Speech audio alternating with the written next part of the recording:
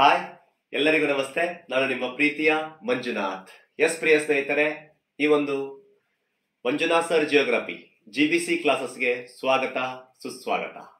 ಅಪಿ, ಈಗಾಗಲೇ ಭಾರತದ ಭೂಗೋಳಶಾಸ್ತ್ರ ಸಂಪೂರ್ಣವಾಗಿ ಕಂಪ್ಲೀಟ್ ಆಗಿದೆ. ನನ್ನ ಚಾನಲಿನ ಪ್ಲೇ ಲಿಸ್ಟಿಗೆ ಹೋಗಿ, ಭಾರತದ ಭೂಗೋಳಶಾಸ್ತ್ರಕ್ಕೆ ಸಂಬಂಧಪಟ್ಟ ಐವತ್ತೊಂಬತ್ತು ವಿಡಿಯೋಸ್ಗಳಾಗಿದ್ದಾವೆ ಟೋಟಲ್ ಕಂಪ್ಲೀಟ್ ಸಿಲೆಬಸ್ ಕರ್ನಾಟಕದಲ್ಲಿ ಸಂಪೂರ್ಣ ವಿಷಯವನ್ನು ಬೋಧನೆ ಮಾಡುತ್ತಿರುವ ಮೊದಲ ವ್ಯಕ್ತಿ ನಾನು. ಅದರ ಸದುಪಯೋಗ ಪಡೆದುಕೊಳ್ಳಿ ಇದಕ್ಕೆ ಮೂಲ ಉದ್ದೇಶ ಎಷ್ಟೋ ಜನ ಬಡ ವಿದ್ಯಾರ್ಥಿಗಳಾಗಲಿ, ಗ್ರಾಮೀಣ ಪ್ರದೇಶದ ಕೆಲವು ಅಭ್ಯರ್ಥಿಗಳಿಗೆ ಪಾಪ ಗೊತ್ತಿಲ್ಲದೆ ಅವರಿಗೆ ನೌಕರಿಗಳು ಕೈ ಜಾರ್ತಾ ಇದ್ದಾವೆ, ಸಿಲೆಬಸ್ ಏನಿದೆ ಅಂತ ಗೊತ್ತಾಗಲ್ಲ. ಅವರು ಇದನ್ನು ಸದುಪಯೋಗ ಪಡೆದುಕೊಳ್ಳಬೇಕನ್ನುವ ಒಂದು ಉದ್ದೇಶವನ್ನು ಇಟ್ಟುಕೊಂಡು ನಾವು ಈ ಒಂದು ಪ್ಲಾಟ್ಫಾರ್ಮ್ ಅನ್ನು ಪ್ರಾರಂಭಿಸಿದ್ದೀನಿ. ಎಸ್ ಹಾಗಾದ್ರೆ ಇವತ್ತು ನಾವು ಕರ್ನಾಟಕದ ಭೂಗೋಳಶಾಸ್ತ್ರದಲ್ಲಿ ಈಗಾಗಲೇ ಒಂದು ಏಳು, ಎಂಟು ಮೇ ಬಿ ಒಂದು ಒಂಬತ್ತು ಟಾಪಿಕ್ಸ್ ಆಗಿದಾವೆ ಅದರಲ್ಲಿ ಇವತ್ತು ಮಾತಾಡ್ತಕ್ಕಂಥ ಇನ್ನೊಂದು ಪ್ರಮುಖವಾದ ವಿವಾದ ಕೃಷ್ಣ ಜಲ ವಿವಾದ. ಅಪಿ ಕರ್ನಾಟಕದ ಮೊದಲನೇ ಅಧ್ಯಾಯ ಭೌಗೋಳಿಕ ಸ್ಥಾನ ಕಂಪ್ಲೀಟ್ ಆಗಿದೆ. ಕರ್ನಾಟಕದ ಭೂಸ್ವರೂಪ ಕಂಪ್ಲೀಟ್ ಆಗಿದೆ. ಕರ್ನಾಟಕದ ಮಣ್ಣುಗಳು ಕಂಪ್ಲೀಟ್ ಆಗಿದೆ. ಕರ್ನಾಟಕದ ನದಿಗಳು ಕಂಪ್ಲೀಟ್ ಆಗಿದೆ. ಕರ್ನಾಟಕದ ವಿವಿಧ ಯೋಜನೆಗಳು ಕಂಪ್ಲೀಟ್ ಆಗಿದೆ. ಕರ್ನಾಟಕಕ್ಕೆ ಸಂಬಂಧಪಟ್ಟ ಕಾವೇರಿ ನದಿ ವಿವಾದ ಆಗಿದೆ. ಆಮೇಲೆ ಮೇಕೆದಾಟು ಆಗಿದೆ. ಎತ್ತಿನಹೊಳೆ ಆಗಿದೆ. ಮಹದಾಯಿ ನದಿ ವಿವಾದ ಆಗಿದೆ. ಇವತ್ತು ಮಾತಾಡ್ತಕ್ಕಂಥದ್ದು ಕೃಷ್ಣ ನದಿ ವಿವಾದ. ಇದು ಆದ್ಮೇಲೆ ಜನಗಣಿತೆಯನ್ನು ಮಾತಾಡ್ಕೊಳ್ಳೋಣ. ಹೀಗೆ ಕರ್ನಾಟಕಕ್ಕೆ ಸಂಬಂಧಪಟ್ಟಂತ ನಂತರ ಕೈಗಾರಿಕೆಗಳು, ಕರ್ನಾಟಕ ಸ್ವ- ಸ್ವಾಭಾವಿಕ ಸಸ್ಯವರ್ಗ, ಕರ್ನಾಟಕದ ಸಾರಿಗೆ, ಕರ್ನಾಟಕದ ಕೃಷಿ, ಕರ್ನಾಟಕದ ಶಕ್ತಿ ಸಂಪನ್ಮೂಲ ಜಲ ಸಂಪನ್ಮೂಲ ಕರ್ನಾಟಕದ ಸಂಬಂಧಪಟ್ಟ ಪ್ರತಿಯೊಂದು ರಾಷ್ಟ್ರೀಯ ಉದ್ಯಾನವನಗಳು ವನ್ಯಜೀವಿ ಧಾಮಗಳು ಅಭಯಾರಣ್ಯಗಳು, ಕರ್ನಾಟಕದಲ್ಲಿ ಬರ್ತಕ್ಕಂಥ ಪಕ್ಷಿಧಾಮಗಳು, ಎಲಿಫೆಂಟ್ ಕಾರಿಡಾರ್ಸ್, ಆಮೇಲೆ ಟೈಗರ್ ರಿಸರ್ವರ್ಸ್, ಪ್ರತಿಯೊಂದು ಮಾತಾಡೋಣ, ಚಿಂತೆ ಬೇಡ. ಓಕೆ? ಎಸ್ ಪ್ರಿಯ ಸ್ನೇಹಿತರೆ, ಇವತ್ತು ಮಾತಾಡ್ತಕ್ಕಂಥ ಒಂದು ಪ್ರಮುಖ ಟಾಪಿಕ್ ಕೃಷ್ಣ ಜಲ ವಿವಾದ. ನೋಡೋಣವೇ ಹಾಗಾದ್ರೆ? ಕೃಷ್ಣ ಜಲ ವಿವಾದ ಮಾತಾಡೋಕ್ಕಿಂತ ಮುಂಚೆ ನಾನು ಈಗಾಗಲೇ ಕೃಷ್ಣ ನದಿ ಬಗ್ಗೆ ಸಂಪೂರ್ಣ ಮಾಹಿತಿ ಹೇಳಿದ್ದೀನಿ. ಭಾರತ ಭೂಗೋಳಶಾಸ್ತ್ರದಲ್ಲಿ ನದಿಗಳಲ್ಲಿ ಕೃಷ್ಣ ಬಗ್ಗೆ ಸಂಪೂರ್ಣ ಇಂಚ್ ಇಂಚ್ ಹೇಳಿದ್ದೀನಿ ಇಪ್ಪತ್ತೈದಕ್ಕಿಂತ ಹೆಚ್ಚು ಅಣೆಕಟ್ಟುಗಳನ್ನು ಹೇಳಿದ್ದೀನಿ ಕೃಷ್ಣ ಸಂಬಂಧಪಟ್ಟ ಎಲ್ಲಾ ಉಪನದಿಗಳನ್ನು ಮಾತಾಡಿದ್ದೀನಿ ಬೇಕಾದ್ರೆ ಡಿಸ್ಕ್ರಿಪ್ಷನ್ ಬಾಕ್ಸ್ ಅಲ್ಲಿ ಹಾಕಿರ್ತೀನಿ. ಕೃಷ್ಣಕ್ಕೆ ಸಂಬಂಧಪಟ್ಟಿದ್ದು ಮತ್ತು ಎಲ್ಲಾ ವಿಡಿಯೋಗಳನ್ನು ಅಲ್ಲಿ ನೋಡ್ಕೊಳ್ಳಿ. ಇಲ್ಲಂದ್ರೆ ಪ್ಲೇ ಲಿಸ್ಟ್ ಹೋದ್ರೆ ಸಿಕ್ಬಿಡುತ್ತೆ. ಎಸ್ ಪ್ರಿಯ ಸ್ನೇಹಿತರೆ, ಆದ್ರೂ ಸಹ ಕೃಷ್ಣಕ್ಕೆ ಸಂಬಂಧಪಟ್ಟ ಸ್ವಲ್ಪ ಇದರ ಒಂದು ಬ್ಯಾಕ್ ಗ್ರೌಂಡ್ ನೋಡಿಕೊಂಡು ಮುಂದೆ ವಿವಾದ ಕೇಳಿಯೋಣ. ಇಲ್ಲಿ ಕೃಷ್ಣ ಅಂತ ಬಂದಾಗ ಅಪಿ ಗೊತ್ತಿರ್ಲಿ. ಕೃಷ್ಣಾ ನದಿ ಒಟ್ಟು ನಾಲ್ಕು ರಾಜ್ಯಗಳಲ್ಲಿ ಹರಿಯುತ್ತೆ. ಎರಡ್ ಸಾವಿರದ ಹದಿನಾಲ್ಕಿಂತ ಮೊದಲು ಮೂರು ರಾಜ್ಯ. ಯಾಕಂದ್ರೆ ಆಂಧ್ರ ಪ್ರದೇಶದಿಂದ ತೆಲಂಗಾಣ ಪ್ರತ್ಯೇಕ ಆಗಿದ್ದು ಎರಡ್ ಸಾವಿರದ ಹದಿನಾಲ್ಕರಲ್ಲಿ. ಎರಡ್ ಸಾವಿರದ ಹದಿನಾಲ್ಕರಲ್ಲಿ ಪ್ರತ್ಯೇಕವಾದಾಗ ಒಟ್ಟು ನಾಲ್ಕು ರಾಜ್ಯ ಅಂತ ಕರೆಸ್ಕೊಳ್ತೇವೆ. ಬೇಕಾದ್ರೆ ನೋಡಿ ಕೃಷ್ಣ ನದಿಯ ಉಗಮ ಸ್ಥಾನ ಮಹಾರಾಷ್ಟ್ರದ ಸಾತಾರ ಜಿಲ್ಲೆಯ ಮಹಾಬಲೇಶ್ವರದಲ್ಲಿ ಜನ್ಮ ತಾಳಿಕೊಂಡು ಕರ್ನಾಟಕದ ಬೆಳಗಾವಿಯನ್ನು ಪ್ರವೇಶಿಸಿ ಹೀಗೆ ಹರಿಯುತ್ತಾ ಈ ಒಂದು ನದಿಯು ರಾಯಚೂರಿನ ಮೂಲಕ ತೆಲಂಗಾಣವನ್ನು ಪ್ರವೇಶಿಸಿ ತೆಲಂಗಾಣ ಮತ್ತು ರಾಯಚೂರಿನ ಗಡಿಯ ಮೂಲಕ ಹರಿದು ಹೀಗೆ ಕೊನೆಯದಾಗಿ ಹೋಗಿ ಈ ಒಂದು ನದಿಯು ನಿಜಾಮಪಟ್ಟಣದ ಬಳಿ ಈ ಒಂದು ಬಂಗಾಳ ಕೊಲೆಯನ್ನು ಸೇರುತ್ತೆ. ಅಪಿ ಕೇಳ್ತಾರ, ಈ ಪ್ರಶ್ನೆಗಳು ಬಹಳ ಡಿಫ್ರೆನ್ಸ್ ಕೇಳ್ತಾ ಇದ್ದಾನೆ. ಇಳಿಕೆ ಕ್ರಮ ಕೇಳ್ಬೋದು. ಹೆಂಗಂತಂದೇಳಿ, ಕೃಷ್ಣಾ ನದಿ ಹರಿಯುವ ಈ ಕೆಳಗೆ ಕೊಟ್ಟಿರುವ ರಾಜ್ಯಗಳನ್ನು ಪ್ರಾರಂಭದಿಂದ ಅಂತ್ಯದವರೆಗೆ ಕಾಲಾನುಕ್ರಮದಲ್ಲಿ ಬರೀರಿ ಅಂದ್ರೆ, ಮೊದಲು ಮಹಾರಾಷ್ಟ್ರ, ನಂತರ ಕರ್ನಾಟಕ, ನಂತರ ತೆಲಂಗಾಣ, ನಂತರ ಆಂಧ್ರ ಪ್ರದೇಶ ಮೂಲಕ ಹರಿದು ಹೋಗಿ ಬಂಗಾಳಕೊಲ್ಲಿ ಸೇರುತ್ತೆ. ಗೊತ್ತಿರಬೇಕು. ಉಲ್ಟಾ ಪಲ್ಟಾ ಮಾಡಿಡ್ತಾನೆ ಮಹಾರಾಷ್ಟ್ರ, ಕರ್ನಾಟಕ, ತೆಲಂಗಾಣ, ಆಂಧ್ರ ಪ್ರದೇಶ. ಇಲ್ಲಾಂದ್ರೆ ಮಹಾರಾಷ್ಟ್ರ, ಆಂಧ್ರ ಪ್ರದೇಶ, ತೆಲಂಗಾಣ ಹಿಂಗ್ ಉಲ್ಟಾ ಪಲ್ಟಾ ಮಾಡಿ ಕೊಡ್ತಾನೆ ಹುಷಾರಿರಿ ಓಕೆ, ಕರ್ನಾಟಕದಲ್ಲಿ ಕೃಷ್ಣ ಹರಿಬೇಕಾದ್ರೆ ಫಸ್ಟ್ ಎಂಟ್ರಿ ಕೊಡೋದು ಬೆಳಗಾವಿ. ಬೆಳಗಾವಿ ಆದ್ಮೇಲೆ ಬಾಗಲಕೋಟೆ ಹೋಗುತ್ತೆ. ಬಾಗಲಕೋಟೆ ಆದ್ಮೇಲೆ ವಿಜಯಪುರ. ವಿಜಯಪುರ ಆದ್ಮೇಲೆ ಯಾದಗಿರಿ. ಯಾದಗಿರಿ ಆದ್ಮೇಲೆ ರಾಯಚೂರು. ಸೀದಾ ತೆಲಂಗಾಣ ಎಂಟ್ರಿ ಕೊಟ್ಬಿಡುತ್ತೆ. ಗೊತ್ತಿರ್ಲಿಕ್ಕೆ ಕ್ರಮದಲ್ಲಿ ಜಿಲ್ಲೆನೂ ಗೊತ್ತಿರ್ಲಿ, ರಾಜ್ಯನೂ ಗೊತ್ತಿರ್ಲಿ. ಇದ್ರ ಬಗ್ಗೆ ಎಲ್ಲಾ ಮಾಹಿತಿ ನಿಮಗೆ ಡಿಸ್ಕ್ರಿಪ್ಷನ್ ಬಾಕ್ಸ್ ಅಲ್ಲಿ ಆ ಕೃಷ್ಣ ನದಿ ಹಾಕಿರ್ತೀನಿ ಅಲ್ಲಿ ನೋಡ್ಕೊಳ್ಳಿ. ಎಲ್ಲಾ ನದಿಗಳು ಸಿಗ್ತಾವೆ. ಭಾರತದ ಎಲ್ಲಾ ನದಿಗಳು ಕಂಪ್ಲೀಟ್ ಆಗಿದಾವೆ ಆಲ್ರೆಡಿ ಓಕೆನಾ ವಿಚಾರ ಮಾಡಬೇಡಿ, ಚಿಂತೆ ಮಾಡಬೇಡಿ, ಸರಿಯಾಗಿ ಕ್ಲಾಸ್ಗಳಲ್ಲಿ ನೋಟ್ಸ್ ಮಾಡ್ಕೊಳ್ಳಿ, ನಿಮ್ದು ನೌಕರಿ ಕಟ್ಟಿಟ್ಟ ಬುದ್ಧಿ. ಇಲ್ಲಿ ಕೃಷ್ಣ ಜಲ ವಿವಾದ. ಹೋಗೋಣ? ಕೃಷ್ಣ ಜಲ ವಿವಾದ ಅಂತ ಬಂದಾಗ ನಿಮಗೆ ಗೊತ್ತು, ನಮ್ಮ ಉತ್ತರ, ಈ ನಮ್ಮ ಕರ್ನಾಟಕದ ಜೀವನದಿ ಕಾವೇರಿ. ತಮಿಳುನಾಡಿನ ಜೀವನದಿನೂ ಕಾವೇರಿ. ಕರ್ನಾಟಕದ ಜೀವನದಿನೂ ಕಾವೇರಿ. ಮತ್ತೆ ಎಷ್ಟು ಚಂದ ಹಾಡಿದೆ ನೋಡಿ. ಕನ್ನಡ ನಾಡಿನ ಜೀವನದಿ ಕಾವೇರಿ, ಓ ಜೀವನದಿ ಈ ಕಾವೇರಿ. ಆದರೆ ಉತ್ತರ ಕರ್ನಾಟಕದ ಜೀವನದಿ ನಮ್ಮ ಕೃಷ್ಣ. ಕರ್ನಾಟಕದ ಜೀವನದಿ ಕಾವೇರಿ, ದಕ್ಷಿಣ ಭಾರತದ ಗಂಗೆ ಎಂದು ಕರೆಸಿಕೊಳ್ಳುವ ನದಿ ಕಾವೇರಿ, ತಮಿಳುನಾಡಿನ ಜೀವನದಿ ಕಾವೇರಿ, ತಮಿಳುನಾಡಿನಲ್ಲಿ ಕಾವೇರಿಯನ್ನು ಪೊನ್ನಿ ಅಂತ ಕರೀತಾರೆ. ಕರ್ನಾಟಕದಲ್ಲಿ ಜೀವನದಿ ಕಾವೇರಿ, ದಕ್ಷಿಣ ಕರ್ನಾಟಕಕ್ಕೆ ಎಷ್ಟು ಕಾವೇರಿ ನದಿ ಬಹುಮುಖ್ಯ ಪಾತ್ರ ವಹಿಸುತ್ತೆ. ಉತ್ತರ ಕರ್ನಾಟಕಕ್ಕೂ ಅಷ್ಟೇ ಸೀಮಿತವಾದ ನದಿ ಕೃಷ್ಣ. ಒಂದು ವೇಳೆ ಕೃಷ್ಣಾ ನದಿ ಏನಾದರೂ ಉತ್ತರ ಕರ್ನಾಟಕದಲ್ಲಿ ಇದ್ದಿದ್ದಿಲ್ಲ ಅಂದರೆ ಇವತ್ತು ರಾಜಸ್ಥಾನ ಹೇಗೆ ಆ ವಾಯುವ್ಯ ಭಾಗ ಮರುಭೂಮಿಯಾಗಿದೆ ಅಲ್ಲ ಆ ರೀತಿ ಕರ್ನಾಟಕದ ಈಶಾನ್ಯ ಭಾಗನೂ ಅತಿ ಹೆಚ್ಚು ಮರುಭೂಮಿಯಾಗಿ ಉಳಿದಿತ್ತು ಉತ್ತರ ಕರ್ನಾಟಕದ ಪ್ರತಿಯೊಬ್ಬ ಜನರು ಅವಲಂಬನೆಯಾಗಿರೋದು ಕೃಷ್ಣ ಮತ್ತು ಅದರ ಉಪನದಿಗಳ ಮೇಲೆ ಅವಲಂಬನೆ ಆಗಿದ್ದಾರೆ ಒಟ್ಟಾರೆ ಜಲಾನಯನ ಪ್ರದೇಶ. ಕರ್ನಾಟಕದ ಅತಿ ದೊಡ್ಡ ಜಲಾನಯನ ಪ್ರದೇಶ ಇದು ಕೃಷ್ಣ. ಹೀಗೆ ಉತ್ತರ ಕರ್ನಾಟಕದಲ್ಲಿ ಸಂಪೂರ್ಣ ಜನರು ಅವಲಂಬನೆ ಆಗಿರೋದು ಕೃಷ್ಣ ನದಿಯ ಕಾರಣ. ಅಪಿ ಉತ್ತರ ಕರ್ನಾಟಕ ಬರಪೀಡಿತ ಪ್ರದೇಶಗಳನ್ನು ಒಳಗೊಂಡಿದೆ ಬಿಸಿಲಿನ ನಾಡು ಅಂತ ಕರೆಸಿಕೊಳ್ಳುತ್ತೆ. ವಾರ್ಷಿಕವಾಗಿ ಅತಿ ಕಡಿಮೆ ಮಳೆಯನ್ನು ಪಡೆಯುತ್ತೆ. ಮಳೆ ನೆರಳಿನ ಪ್ರದೇಶವಾದ ಕಾರಣ ಇಲ್ಲಿ ನದಿಗಳಿಗೆ ಜಾಸ್ತಿ ಜನ ಅವಲಂಬನೆ ಆಗಿದ್ದಾರೆ. ಹಾಗಾಗಿ ಈ ಹರಿಯುವ ನದಿಯ ಮೇಲೆ ಅವಲಂಬನೆ ಆಗಿರುವ ಜನರು ಈ ಒಂದು ಪ್ರದೇಶದಲ್ಲಿ, ಕರ್ನಾಟಕದಲ್ಲಿ ನೀರಾವರಿಗೆ ಮತ್ತು ಜಲವಿದ್ಯುತ್ ಉತ್ಪಾದನೆ ಮಾಡಬೇಕಂತಂದು ಹತ್ತೊಂಬತ್ತು ನೂರ ಅರವತ್ತರ ದಶಕದಲ್ಲಿ ಆಲೋಚನೆ ಯಾವಾಗ ಮಾಡ್ತಾರೆ? ಅವಾಗೆ ಹುಟ್ಟಿಕೊಳ್ಳುತ್ತೆ ಕೃಷ್ಣ ನದಿ ವಿವಾದ.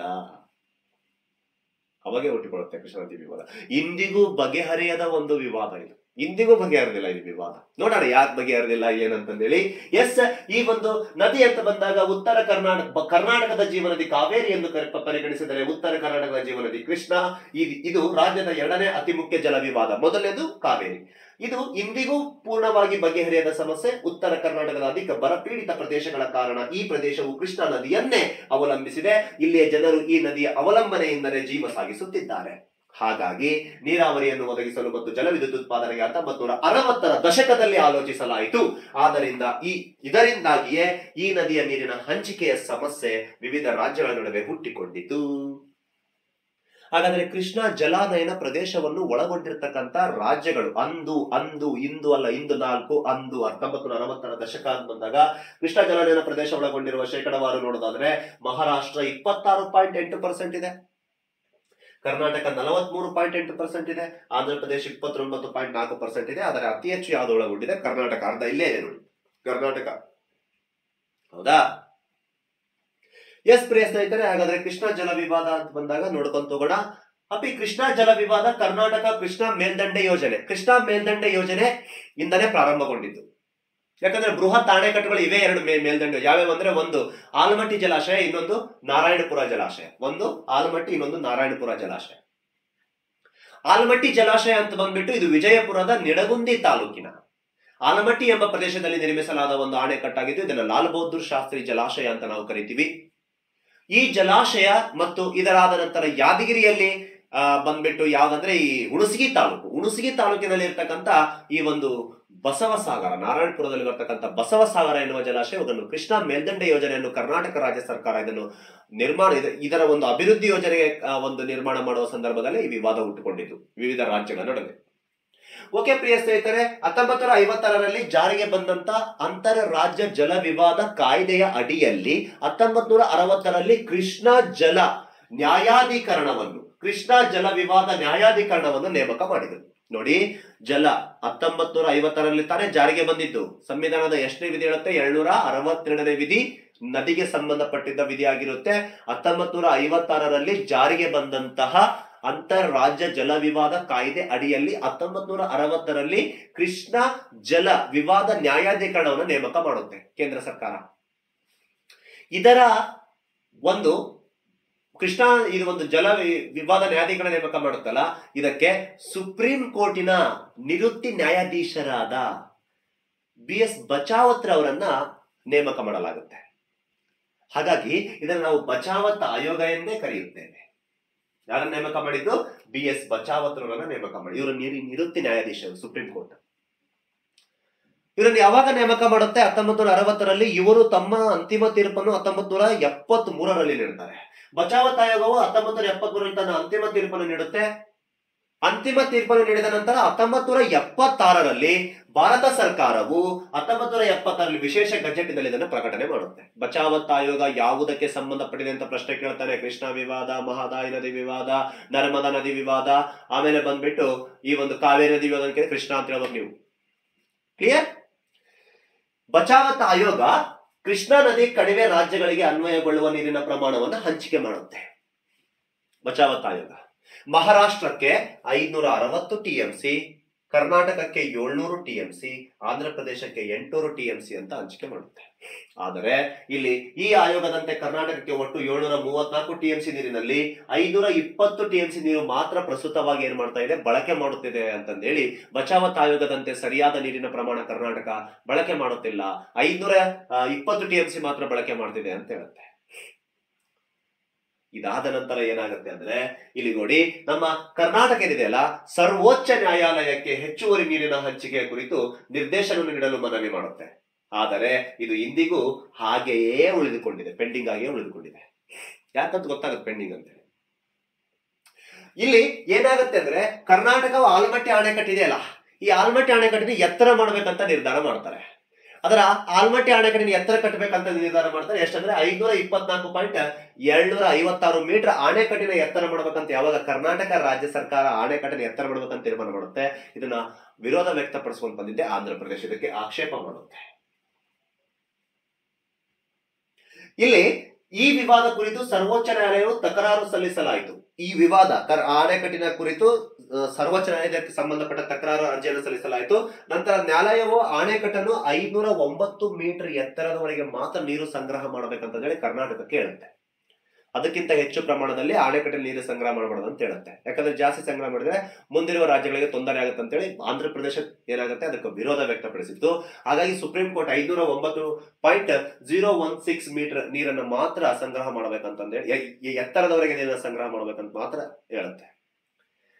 ಇದರಿಂದಾಗಿ ಬಚಾವತ್ ಆಯೋಗವು ನೀಡಿರುವ ನೀರನ್ನು ಪೂರ್ಣವಾಗಿ ಬಳಕೆ ಮಾಡಲು ಇಂದಿಗೂ ಸಹ ಕರ್ನಾಟಕಕ್ಕೆ ಆಗ್ತಾ ಇಲ್ಲ. ಅಷ್ಟು ಪ್ರಮಾಣದಲ್ಲಿ ನಾವು ನೀರು ಬಳಕೆ ಮಾಡಿದ್ರೆ ಬಚಾವತ್ ಆಯೋಗ ಹೇಳಿದಂತೆ ಅಷ್ಟು ಏಳ್ನೂರು ಟಿ ಸಿ ನಮಗೆ ಸಿಗ್ತಾ ಇಲ್ಲ. ಅದೇ ಪ್ರಾಬ್ಲಮ್ ಆಗ್ತಿರೋದು. ಬಚಾವತ್ ಆಯೋಗದ ನಾವು ಇಲ್ಲಿ ಏನಾಗ್ತಾ ಇದೆ? ಇದು ಸರಿ ಸಮಾನ ಆಗ್ತಾ ಇಲ್ಲ. ಹಾಗಾಗಿ ಇದರಿಂದಾಗಿ ಆಲಮಟ್ಟಿ ಅಣೆಕಟ್ಟಿನಲ್ಲಿ ನೀರಿನ ಎತ್ತರದ ಕುರಿತು ತೀರ್ಪನ್ನು ಪುನರ್ ಪರಿಶೀಲಿಸುವಂತೆ ಮತ್ತೆ ರಾಜ್ಯ ಸರ್ಕಾರ ಏನ್ ಮಾಡುತ್ತೆ? ಕೇಂದ್ರಕ್ಕೆ ಕೋರುತ್ತೆ. ಯಾವಾಗ ರಾಜ್ಯ ಸರ್ಕಾರ ಆಣೆಕಟ್ಟಿನ ಎತ್ತರವನ್ನು ಮಾಡಬೇಕಂತ ತೀರ್ಮಾನಿಸಿದಾಗ ಆಂಧ್ರ ಪ್ರದೇಶ ವಿರೋಧ ವ್ಯಕ್ತಪಡಿಸಿದ್ದು, ವಿರೋಧವನ್ನು ವ್ಯಕ್ತಪಡಿಸಿದಾಗ ಇದು ಬಚಾವತ್ ಆಯೋಗಕ್ಕೆ ಸಂಬಂಧಪಟ್ಟ ನೀರಿನ ಹಂಚಿಕೆ ಕರ್ನಾಟಕ ರಾಜ್ಯಕ್ಕೆ ಸರಿಯಾಗಿ ಸಿಗ್ತಾ ಇಲ್ಲ ಅಂತ ಗೊತ್ತಾದಾಗ ಮತ್ತೆ ಆಲೆಮಟ್ಟಿಗೆ ಸಂಬಂಧಪಟ್ಟಂತ ಈ ವಿಷಯದ ಕುರಿತು, ಈ ಒಂದು ನೀರಿನ ಎತ್ತರದ ಕುರಿತು ತೀರ್ಪನ್ನು ಪುನರ್ ಪರಿಶೀಲಿಸುವಂತೆ ರಾಜ್ಯ ಸರ್ಕಾರ ಮತ್ತೆ ಕೇಂದ್ರಕ್ಕೆ ಮನವಿಯನ್ನು ಸಲ್ಲಿಸುತ್ತೆ. ಯಾವಾಗ ಮನವಿಯನ್ನು ಸಲ್ಲಿಸುತ್ತೆ? ನಂತರ ಎರಡ್ ಸಾವಿರದ ಇಪ್ಪತ್ತ್ ಹೌದಾ? ಎರಡ್ ಸಾವಿರದ ಇಪ್ಪತ್ತ್ ಮೂರರಲ್ಲಿ ಸಾರಿ ಎರಡ್ ಸಾವಿರದ ಇಪ್ಪತ್ತ್ ಮೂರಿನ ಪ್ರೆಸೆಂಟ್ ಮುಗಿದ ಇಪ್ಪತ್ನಾಲ್ಕಕ್ಕ ಅದಿವಿ. ಎರಡ್ ಸಾವಿರದ ಮೂರರಲ್ಲಿ. ಎರಡ್ ಸಾವಿರದ ಮೂರರಲ್ಲಿ ಕೃಷ್ಣ ಜಲ ವಿವಾದ ನ್ಯಾಯಾಧೀಕರಣವನ್ನು ಕೇಂದ್ರ ಸರ್ಕಾರವು ನೇಮಿಸಿದ್ದು, ಬಚಾವ್ ಆಯೋಗ ಮುಗಿತೀಗ ಕೃಷ್ಣ ಜಲ ವಿವಾದ ನ್ಯಾಯಾಧೀಕರಣವು ಕೇಂದ್ರ ಸರ್ಕಾರ ನೇಮಿಸಿದ್ದು, ಎರಡ್ ಸಾವಿರದ ಏಳರಿಂದ ತನ್ನ ಕಾರ್ಯವನ್ನು ಆರಂಭಿಸುತ್ತೆ ಮತ್ತೆ ಹೊಸದಾಗಿ. ಅದು ತನ್ನ ತೀರ್ಪನ್ನು ಎರಡ್ ಸಾವಿರದ ಹತ್ತಕ್ಕೆ ನೀಡುತ್ತೆ, ಅಂತಿಮ ತೀರ್ಪನ್ನ. ಎರಡ್ ಸಾವಿರದ ಮೂರಲ್ಲಿ ನೇಮಕ ಆಯಿತು. ಕೃಷ್ಣ ಜಲ ವಿವಾದ ನ್ಯಾಯಾಧಿಕರಣವನ್ನು ನೇಮಕ ಮಾಡುತ್ತೆ. ಇದು ತನ್ನ, ಆ, ಅಂತಿಮ ಇದು ತನ್ನ ಕಾರ್ಯಾರಂಭ ಮಾಡುತ್ತಾ ಇರ್ತದ್ದು ಎರಡ್ ಸಾವಿರದ ಏಳರಿಂದ. ಆದ್ರೆ ಎರಡ್ ಸಾವಿರದ ಹತ್ತಕ್ಕೆ ತಮ್ಮ ಅಂತಿಮ ತೀರ್ಪನ್ನು ನೀಡುತ್ತೆ. ಏನ್ ಹೇಳುತ್ತೆ? ಅಂತಿಮ ತೀರ್ಪೆ ಫೈನಲ್ ನೋಡಿ. ಎರಡ್ ಸಾವಿರದ ಹತ್ತರಲ್ಲಿ ನೀಡಿದ ಕೃಷ್ಣ ಜಲವಿವಾದಕ್ಕೆ ಸಂಬಂಧಪಟ್ಟ ತೀರ್ಪೆ ಕಂಟಿನ್ಯೂಸ್ ಆಗಿದೆ. ಏನ್ ಹೇಳುತ್ತೆ ತೀರ್ಪು ಅಂತ ಬಂದಾಗ ಪ್ರಿಯ ಸ್ನೇಹಿತರೆ ಕೃಷ್ಣ ನ್ಯಾಯಾಧೀಕರಣ ಅಂತಿಮ ತೀರ್ಪು ಎರಡ್ ಸಾವಿರದ ಹತ್ತು ಡಿಸೆಂಬರ್ ಮೂವತ್ತೊಂದರಂದು ಪ್ರಕಟಿಸಲಾಗಿತ್ತು. ಕೇಳಿ ಬಹಳ ಇಂಪಾರ್ಟೆಂಟ್ ಕೃಷ್ಣಾ ನದಿಯಲ್ಲಿ ದೊರೆಯುವ ನೀರಿನ ಪ್ರಮಾಣ ಎರಡು ಸಾವಿರದ ಐನೂರ ಎಪ್ಪತ್ತೆಂಟು ಟಿ ಎಂ ಸಿ ನೀರಿದೆ. ಕೃಷ್ಣದಿಂದ ದೊರೆಯುವ ಒಟ್ಟು ನೀರಿನ ಪ್ರಮಾಣ ಎರಡ್ ಸಾವಿರದ ಐನೂರ ಎಪ್ಪತ್ತೆಂಟು ಟಿ ಎಂ ಸಿ ಪರಿ, ಪರಿಗಣಿಸಿ ಕೃಷ್ಣ ಜಲಾನಯನ ರಾಜ್ಯಗಳಿಗೆ ಹಂಚಿಕೆ ಮಾಡ್ತಾರೆ ಮತ್ತೆ ಬಚಾವ ಆಯೋಗ ಹೆಂಗ್ ಹಂಚಿಕೆ ಮಾಡಿತ್ತು? ಇದನ್ನು ಈಗ ಹಂಚಿಕೆ ಮಾಡುತ್ತೆ. ಅಂತಿಮ ತೀರ್ಪಲ್ಲಿ. ಮಹಾರಾಷ್ಟ್ರಕ್ಕೆ ಆರ್ನೂರ ಅರವತ್ತಾರು ಟಿ ಎಂ ಸಿ ಕರ್ನಾಟಕಕ್ಕೆ ಒಂಬೈನೂರ ಹತ್ತು ಟಿ ಎಂ ಸಿ ಆಂಧ್ರ ಪ್ರದೇಶಕ್ಕೆ ಸಾವಿರದ ಒಂದು ಟಿ ಎಂ ಸಿ ಅಂತಂದೇಳಿ ಹೇಳುತ್ತೆ. ಈ ತೀರ್ಪು ಮುಂದೆ ಎರಡ್ ಸಾವಿರದ ಐವತ್ತರವರೆಗೂ, ಇದು ಹಾಗೆ ಮುಂದುವರೆದು ನಂತರ ಪರಿಶೀಲನೆ ಮಾಡಬೇಕು. ಎರಡ್ ಸಾವಿರದ ಐವತ್ತರ ತನಕ ಸುಮ್ಮಿರ್ಬೇಕು ಈಗ ಎರಡ್ ಸಾವಿರದ ಹತ್ತರಲ್ಲಿ ತೀರ್ಪು ನೀಡಿದೆ ಎರಡ್ ಸಾವಿರದ ಐವತ್ತಂದ್ರೆ ನಲವತ್ತು ವರ್ಷಗಳ ಕಾಲ ಇದನ್ನು ಯಾವುದೇ ಬದಲಾವಣೆ ಮಾಡುವಂತಿಲ್ಲ ಅಂತ ಹೇಳುತ್ತೆ. ಎಲ್ಲಿ ಬರೀ ಇದನ್ನೇ ಮಾಡ್ಕೊಂತ ಕುಂದ್ರ ಎರಡ್ ಸಾವಿರದ ಹತ್ತರಲ್ಲಿ ಹೇಳುತ್ತೆ. ಎರಡ್ ಸಾವಿರದ ಹತ್ತರಲ್ಲಿ ಹೇಳುತ್ತೆ, ಎರಡ್ ಸಾವಿರದ ಐವತ್ತರವರೆಗೆ ಹಾಗೆಯೇ ಮುಂದುವರೆದ ನಂತರ ಪರಿಶೀಲನೆ ಮಾಡಬೇಕು ಅಂತ ಹೇಳುತ್ತೆ. ಆ ಟೈಮ್ನಾಗ ಏನಾದ್ರು ಮತ್ತೆ ಬೇರೆ ವ್ಯತ್ಯಾಸ ಆಗಿದ್ರೆ ಅವಾಗ ಇದನ್ನು ಮಾಡ್ಕೊಳ್ಳಿ ಅಂತ ಹೇಳುತ್ತೆ. ಅಷ್ಟೇ ಅಲ್ಲದೆ ಈ ಹಂಚಿಕೆಗೆ ಹಂಚಿಕೆಯನ್ನು ಇಲ್ಲಿ ಕೊಟ್ಟಿರುವ ಎಲ್ಲಾ ರಾಜ್ಯಗಳ ಹಂಚಿಕೆಯನ್ನು ಬಳಸಿಕೊಳ್ಳು ಆಯಾ ರಾಜ್ಯದ ಸ್ವತಂತ್ರವಾಗಿದೆ ಅಂತ ಹೇಳಿಬಿಡುತ್ತೆ.